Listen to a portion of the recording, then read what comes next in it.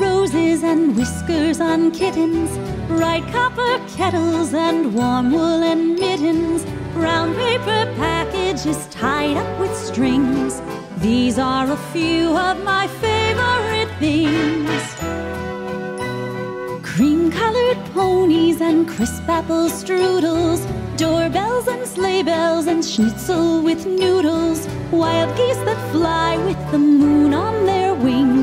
These are a few of my favorite things. Girls in white dresses with blue satin sashes, snowflakes that stay on my nose and eyelashes, silver white winters that melt into springs. These are a few of my